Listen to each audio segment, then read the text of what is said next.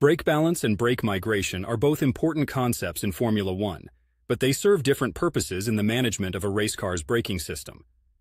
Brake balance brake balance refers to the distribution of braking force between the front and rear wheels. Drivers can adjust this balance to optimize performance depending on the track conditions and the car's handling characteristics. For instance, if a driver feels that the front wheels are locking up too easily under braking, they might shift more brake bias toward the rear. Conversely, if the rear wheels are locking up, they might move more braking force to the front. Throughout a race, this balance might be adjusted multiple times to account for tire wear, fuel load, and other dynamic factors. Brake migration. Brake migration, on the other hand, is a more sophisticated concept that involves the shifting of brake balance as the car decelerates.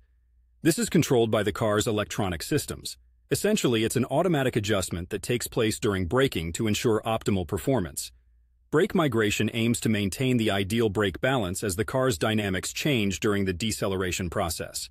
For example, at the start of braking, there might be more weight on the front wheels, necessitating a front-heavy brake balance.